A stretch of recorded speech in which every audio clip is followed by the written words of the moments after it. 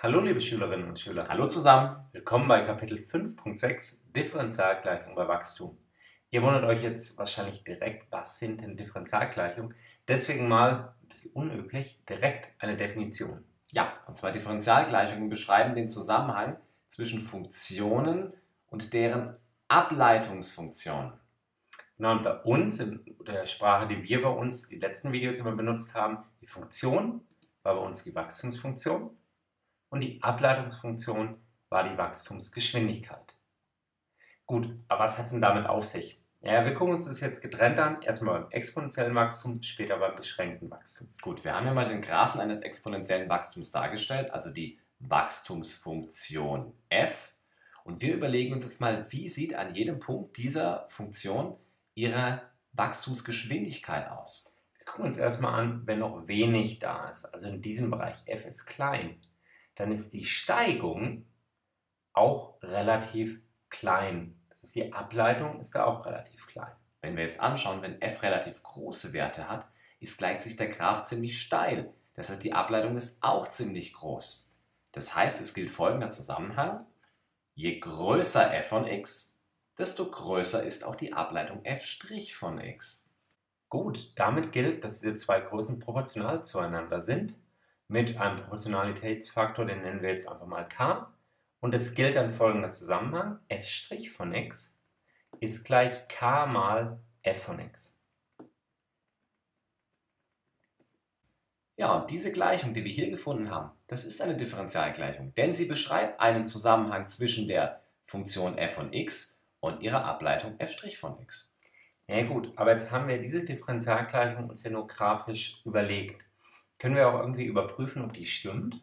Ja, wir nehmen doch einfach mal die Funktion für das exponentielle Wachstum, die wir schon kennen. Wir haben nämlich ein f von x damals im Video 5.4 benutzt. Was war das denn nochmal? F von x war einfach f0 mal e hoch kx. Okay, ähm, die könnten wir jetzt einfach hier einsetzen. Wir brauchen aber auch noch die Ableitungsfunktion f' von x. Und die könnt ihr jetzt mal kurz selber machen. Diese Funktion hier schnell ableiten nach der richtigen Ableitungsregel. Die Lösung gibt es in 3, 2, 1.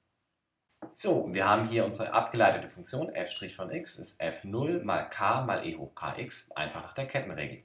So, jetzt müssen wir die Funktion und die Ableitungsfunktion in die Differentialgleichung einsetzen. Herr Tank schreibt schon, einsetzen in DGL. DGL steht für Differentialgleichung. Und zwar diese Funktion hier, unsere Ableitungsfunktion, auf die linke Seite der Gleichung, diese Funktion hier, unsere ursprüngliche Funktion, auf die rechte Seite der Gleichung und insgesamt erhalten wir somit die folgende Differentialgleichung. Gut, wir sehen jetzt sehr klar, auf der linken und auf der rechten Seite steht dasselbe, wenn wir so ein bisschen umsortieren würden. Also das passt, wir können da einen Haken machen. Wir haben es in die Differentialgleichung eingesetzt und es stimmt. Okay, schauen wir uns das Ganze fürs beschränkte Wachstum an. Okay, hier haben wir auch den Graphen des beschränkten Wachstums dargestellt. Jetzt irritiert mich aber was, weil hier kann man ja sagen, je größer die Funktionswerte werden, desto kleiner wird ja eindeutig die Steigung und desto kleiner wird ja auch die Wachstumsgeschwindigkeit. Das heißt, es ist gar nicht proportional, so wie hier drüben. Ja gut, aber es gibt ja noch eine andere Größe beim beschränkten Wachstum, die von Bedeutung war, und zwar das Sättigungsmanko, das was fehlt. Am Anfang ah. sieht man, am Anfang sieht man, fehlt noch relativ viel. Und da fehlt viel. Das Sättigungsmanko ist groß, die Steigung ist auch groß. Später mhm. fehlt wenig, Sättigungsmanko ist klein und die Steigung ist klein. Ah, okay. Das heißt, hier kann man auch sagen, dass je kleiner, kleiner ist wichtig, ist jetzt anders, je kleiner das Sättigungsmanko ist, also sozusagen der Abstand zwischen der Schranke und dem aktuellen Funktionswert, desto kleiner wird auch die Steigung. Das sieht man recht deutlich. Okay, dann schreiben wir das doch auch mal wie hier drüben als formaler Zusammenhang auf. Genau, denn auch hier gilt ein proportionaler Zusammenhang. f' von x ist gleich k, der Proportionalitätsfaktor, mal s minus f von x. Okay. Und der Rest von dem ganzen Teil hier drüben funktioniert eigentlich genauso wie eben. Das heißt, jetzt seid ihr dran mit einigen kleineren Aufgaben. Ihr sucht die Formeln raus, so wie hier drüben fürs exponentielle Wachstum, hier fürs beschränkte.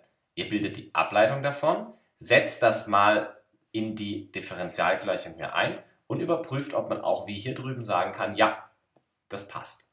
Und die Lösung dafür gibt es in 3, 2, 1. Okay, wir haben zunächst mal wieder die Funktion, die ist einfach aus dem entsprechenden Video, das war 5.5. Wir haben die Funktion abgeleitet hier drüben nach der Kettenregel. Dadurch, dass das Minus k nach vorne kam, ist das Minus hier weggeflogen. Das s hatte keine Variable, ist deswegen sowieso weg. Also haben wir Funktion und Ableitungsfunktion. Gut, danach muss man es in die Differentialgleichung einsetzen. Auf der linken Seite steht die Ableitungsfunktion c mal k mal e hoch minus kx. Und auf der rechten Seite steht k mal, Klammer auf, s minus und dann in Klammern die Funktion selber. Da muss man auf die Klammern auch achten. Gut, dann rechnet man das aus. s minus s fliegt erstmal weg. Und dann hat man noch minus minus c mal e hoch minus kx. Das ergibt sich zu plus. So haben wir nur noch k mal c mal e hoch minus kx stehen. Die linke Seite braucht man gar nichts verändern. Und man sieht jetzt schon, wenn man es leicht umsortieren würde, das passt. Wir machen einen Haken und das stimmt. Die Probe eingesetzten Differentialgleichung stimmt.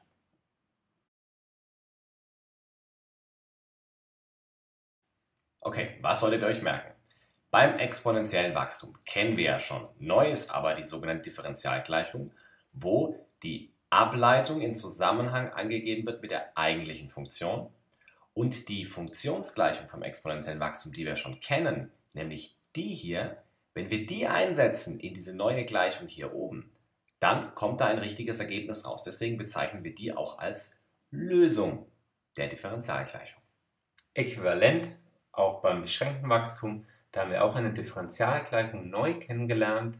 f' von x ist k mal das Sättigungsmanko s minus f von x.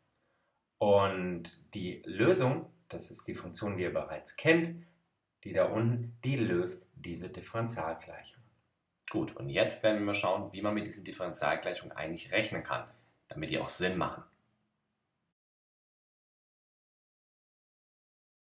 Ja, und zu diesem Kapitel hat der Fenrich versprochen, mal wieder ein richtig tolles Anwendungsbeispiel mitzubringen. Ja, und mein Versprechen löse ich natürlich auch ein. Hier ist es.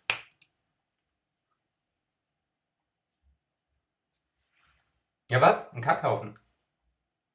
Ja, aber das ist, wollen Sie sagen, Differentialgleichungen sind scheiße oder was? Nein, das soll motiviert sein. Sehen Sie doch. Grinst. Ist doch schön. Ja, okay. Stellen Sie sich mal eine Kläranlage vor. Okay? Ich will mir keine Kläranlage. Doch, stellen Sie sich eine Kläranlage vor. Und da ist äh, Kacke drin, also Abwasser. Na gut, am Anfang ist noch kein Abwasser drin. Also auch keine Kacke. Ja gut, die Kacke kommt noch. Also die fließt so richtig rein. Also stell dir vor, die Kacke fließt da in diese Kläranlage rein. 90 mhm. Liter, 90 Liter quillt komplett über. Gut, ein bisschen fließt auch immer raus, 6%, aber 90 Liter fließt Könnten wir vielleicht rein. einfach zu einer sachlicheren Darstellung gehen? Achso, sachlich wollte ich es haben. Bisschen ja, weniger bildhaft. Ja, da habe ich auch was vorbereitet. Ist in Ordnung. In ein biologisches Klärbecken, das anfangs nicht verunreinigt ist, laufen pro Minute 90 Liter Abwasser ein. Die momentane Abbaurate des Abwassers in Liter pro Minute beträgt 6% des vorhandenen Abwassers. Ich stelle die Wachstumsgleichung auf. Wie ich gesagt habe. Genau so. Ja, der eben gezeigte erste Teil der Aufgabe wurde vor ungefähr einem Jahr aufgenommen. Wir sind mittlerweile ein wenig reifer und ein Jahr älter und möchten uns an dieser Stelle für die allzu zotigen Gags bezüglich des Aufgabeninhalts entschuldigen. Wir finden, Mathematik ist eine ernste Sache und wir sollten diesen Sachverhalt hier mit dem nötigen Ernst behandeln. Gut, deswegen gucken wir jetzt in der Aufgabe erstmal, ob wir irgendwelche Signalwörter sehen, denn da sind welche zwar momentane Abbaurate des Abwassers. Sogar die Einheit ist noch da. In Liter pro Minute. Ihr kennt es immer Liter pro Minute. Das ist eine Art Wachstumsgeschwindigkeit. Und immer wenn ihr Wachstumsgeschwindigkeit in Aufgaben seht, dann könnt ihr euch die Differentialgleichung, die wir gerade besprochen haben, zunutze machen.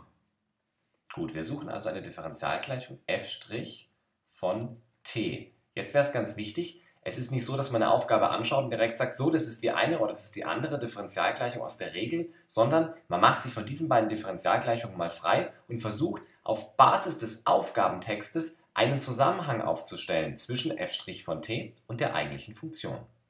Gut, in der ersten Zeile der Aufgabe sehen wir auch was. Da sehen wir, dass pro Minute 90 Liter Abwasser reinlaufen. Also ein fester Wert 90 pro Minute läuft rein. Um den sozusagen der Inhalt des Beckens wächst. Deswegen plus 90, das Plus können wir aber weglassen. Außerdem sehen wir noch, dass was rausfließt und zwar 6% des vorhandenen Abwassers fließt raus.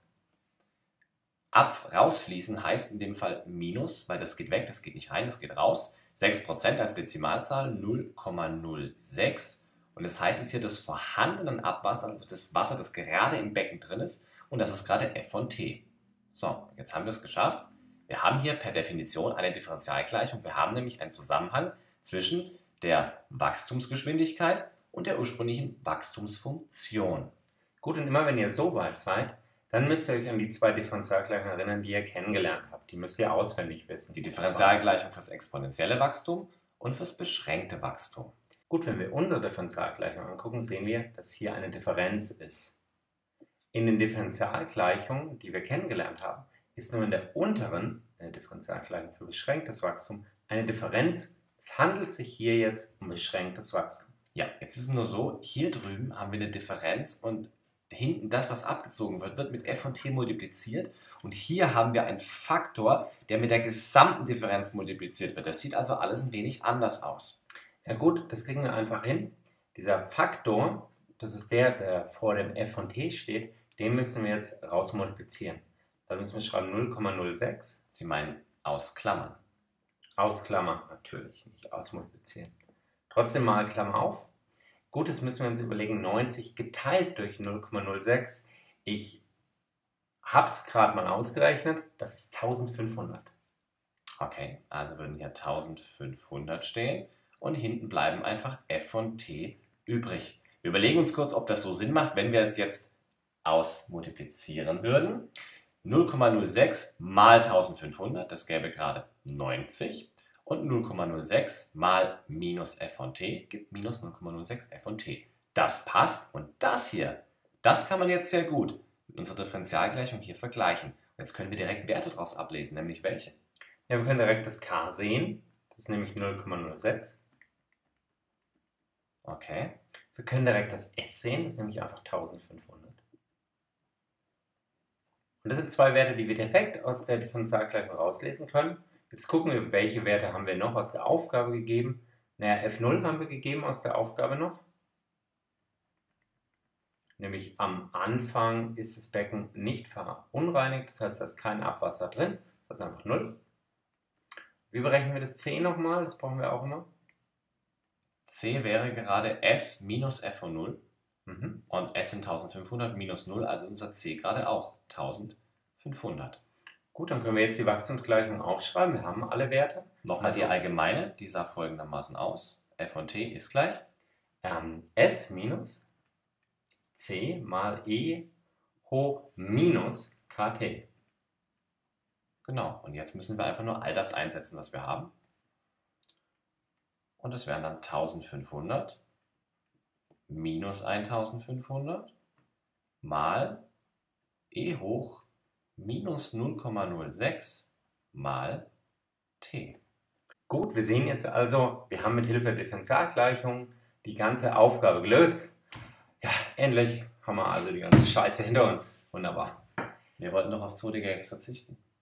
Ach, einer geht immer. Na gut, mit diesem äußerst äh, zotigen Gag verabschieden wir uns fürs heutige Video. Macht's gut, bis zum nächsten Mal. Ciao. Tschüss.